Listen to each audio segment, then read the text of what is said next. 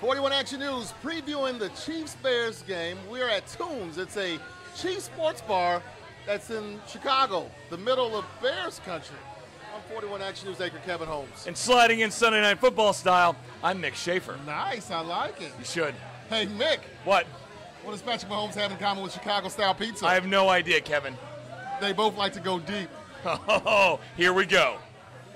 You know, Kevin, I feel like my appetizer, the mozzarella stick, is a lot like Patrick Mahomes. Looks good, performs even better, and it can burn you a little bit. Like your appetizer, the fries, are like Mitch Trubisky. Battered and a little salty. I tell you what, I know I can make these fries look a lot more like Patrick Mahomes and not Mitch Trubisky.